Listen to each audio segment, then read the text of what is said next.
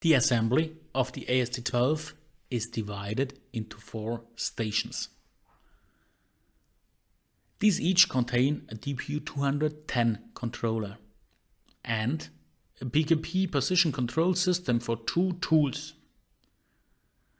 Two AST12 systems are attached to the PKP. The product is placed on a workpiece carrier VPC, which is manually pushed through the stations. The workpiece carrier is positioned and fixed with stoppers and lifters. The HMI and the pick-to-light system guarantee operator guidance. The screws are supplied through screw feeders and screw presenters. The following assembly steps are carried out.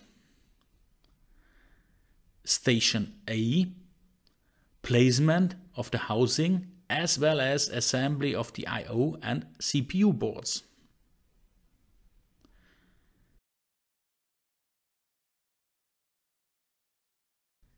Station B Installation and assembly of the connectors.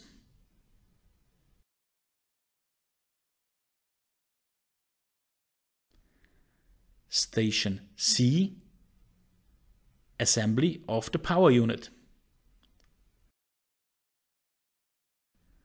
Station D Connection of all cables and assembly of the rear housing. Station E is the test station, the end-of-line test. It consists of a DPU210 and an interface box for the inputs and outputs, as well as all communication interfaces. On this, the AST12 is connected. A testing and realignment device which simulates a screwdriver is connected to the AST12. From this box, a precision measurement device takes readings.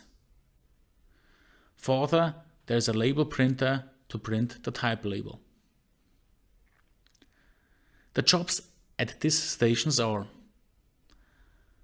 update to the current AST software level, test of all inputs and outputs,